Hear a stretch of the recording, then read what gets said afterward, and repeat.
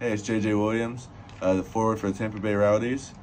I played all of my youth soccer growing up at Vestavia Hill Soccer Club, where then I got a full ride to the University of Kentucky. I was drafted in the first round 2019 to the Columbus Crew, and I played for a number of other teams until this point. What did your parents do or not do that helped you to get to where you are today? Uh, my parents always supported me and my decisions. Um, they taught me the importance of never giving up, just because soccer's a lot of highs and lows, and it's just about getting through those. If you could go back and change things, what would you have them do differently, if anything?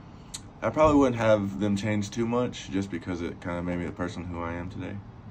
What would you like to thank them for? Uh, I think I would like to thank my parents separately for their roles. My mom was very hard on me, uh, big critic.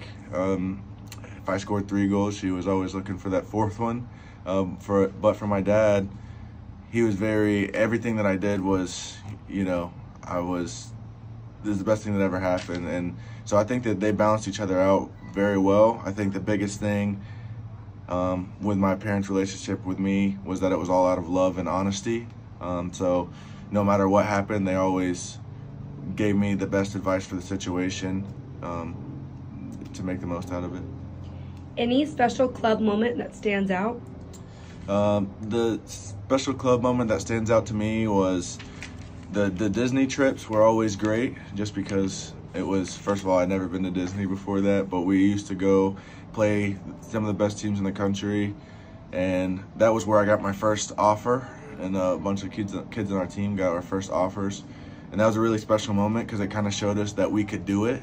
It's, and it, it came a lot later than we thought was going to happen, but we never, we never thought that we were going to be able to do it. You know, get full rides or not even pro. Um, so that was a really special moment.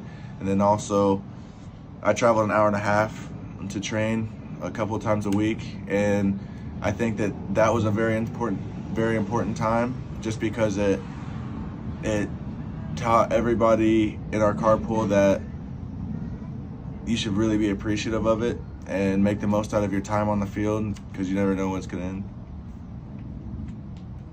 Um, and my final piece of advice that I would give was would be, you know, just for your kids is to um, make sure that everything that you do is the advice, the extra sessions, anything is just out of the love of the love of the game for the that the kids have, not that you have. I think that if I said that I wanted to stop, my parents would say, "Okay, you know, let, let me know why. Give me, let me know it's a good reason, whatever." Um, but they always made sure it was my love of the game and not theirs. So, all the best to you.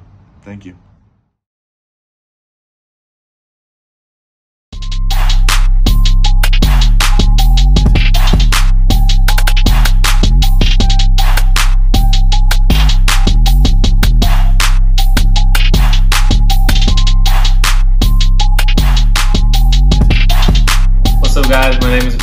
I'm a midfielder for Toronto FC. I actually grew up in Birmingham, Alabama, um, playing for various clubs uh, all the way until I was 16. Uh, then I was able to move to play for the FC Dallas Academy. Uh, I played for FC Dallas for two years in the academy, and then I was able to go play at Wake Forest University. Uh, I played at Wake Forest for one semester, and then I was um, blessed to receive a homegrown contract with FC Dallas.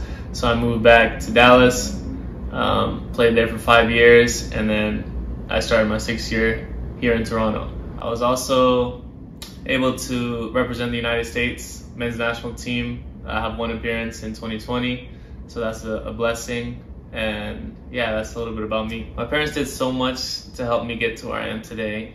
Um, my mom supported us so much, just being there, always being positive, always cheering us on. I think that was, that was huge for me, not having to stress about whether I'm gonna come home, even though I had a bad game. Just feeling loved no matter what was was huge for me. My dad knew a little bit more about soccer, so he was a little bit harder on me, but he was able to coach me and, and help me with a little bit more of the technical and tactical things on the field. So there's more drills after training or even in the backyard that definitely helped with my development. But also as I grew older, he wasn't my coach anymore. Um, but he was still there giving me confidence uh, even when I'm moving up to a, a, higher level sometimes as a player you, you you're not sure if you're good enough you know and I think uh, my dad was a huge part in uh, giving me the confidence to to tell me that you know I'm good enough for this level I'm good enough for this stage and just to believe in myself and all the work that I put in and to just go out there and play uh, I think that was huge for me uh, even when I didn't have that belief in myself, having my parents to, to kind of keep pushing me. I was asked if I could go back in time and change anything that they did differently, uh, what would I do? And honestly, I don't think I would change anything. Uh, I think I ended up in a pretty good spot, and I know for a fact that I wouldn't be here if it wasn't for them. I just want to thank my parents for all the sacrifices that they made. Um, looking back, I can understand the you know the struggle of you know the money, the time, the travel, all of those things. Um, as a kid, you don't take that into perspective. You're just you know having fun with your friends. But looking back, I realized how much my parents really did put into you know allowing me to have the best environment possible, giving us the the best coaches, the best facilities possible. Um, so I really appreciate that. I think an obvious uh, favorite club moment for me is, you know, winning state cup. I think anytime you're able to lift some some hardware, get a little trophy, it's an amazing feeling. Um, just being able to celebrate with your teammates and and the coaches, all the hard work that you put in. So it's a great feeling. I think looking back, another great memory I have is just being able to compete with international teams at some of those bigger showcases and tournaments just being able to compare yourself to other kids in, in different countries, uh, that was super interesting to me and, and, just kept pushing me to get better and better. I just wanted to give a quick shout out to all you parents and just let you guys know that all of your efforts are not going unnoticed. Even though everyone's soccer journeys are a little bit different, all of these skills and all of these memories are going to keep living on uh, when they're done playing. Uh, they'll be able to look back and, and thank you for everything that you've done. So thank you guys and just keep growing the game of soccer in Alabama.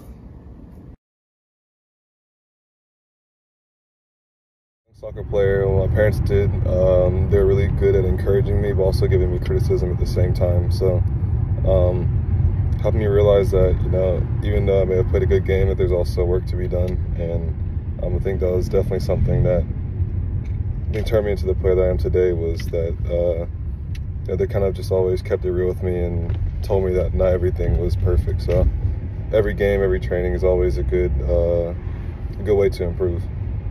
My parents never forced me to play soccer. It was something that I always kind of decided to do on my own, and um, I think them not putting pressure on me to always play definitely kind of uh, kept me loving the game. I personally wouldn't change anything um, about how my parents interacted with me as an athlete growing up. I think in the in the moment sometimes it felt a bit harsh or it felt a bit um, overwhelming, but then in retrospect it definitely paid out in the long run. And um, yeah, it was it was a bit tough for me to understand when I was younger, but um, you know I think I needed that type of pushing and encouragement. Um, I want to thank my parents for always, you know, finding the time, finding the resources to allow me to, to play. I know it's not the easiest thing. Uh, also, having two other siblings is not always the easiest thing. Uh, being able to take me to training or being able to pay for everything, but they always found a way somehow. What moments stood out to me, I think State Cup were always, that was always nice. Regionals, I think, was for me the best part of my uh, growing up and playing for Hoover Soccer Club. I think, you know, going on the away trip with your boys and uh, playing against other good, great teams in the Southeast, uh, it was definitely those are definitely probably my favorite moments of playing in Alabama. Reyna out into the edge of the six, and it's Chris Richards with the opener. He's been beaming with confidence. And it's dripping out of him now. His first international goal. and the U.S. has the lead in the final.